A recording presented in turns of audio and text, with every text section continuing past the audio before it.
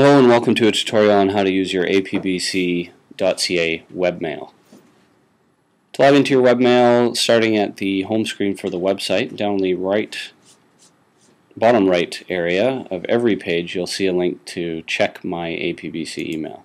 Clicking that will open a new window uh, which will present you with a login screen. You need to type in your email address,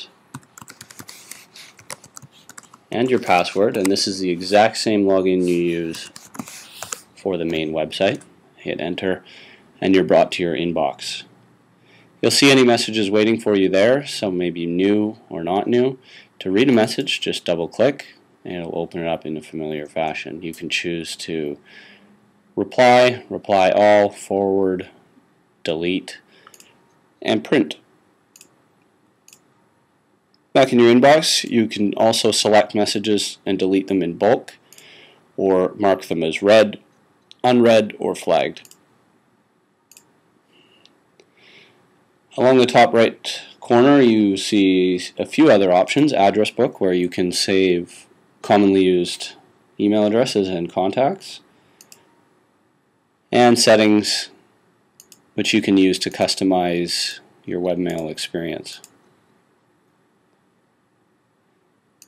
If you're interested in changing your password for your email system, that is done back on the APBC website after you have logged in.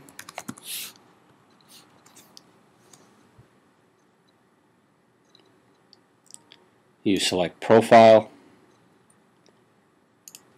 Edit Update your profile, and you can change your password here.